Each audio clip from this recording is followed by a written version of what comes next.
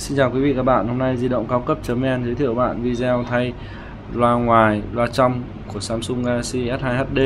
bản Hàn Quốc mã E120 SL hoặc K. Đó, trên tay mình đây là cụm loa ngoài của Samsung Galaxy S2 HD.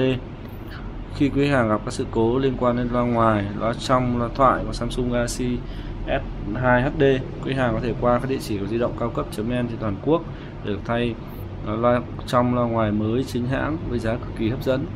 mọi thông tin về sản phẩm của khách hàng vui lòng liên hệ đường dây nóng 04 66 750 999 hoặc truy cập website www di động cao cấp.vn để biết thêm thông tin chi tiết về giá bán như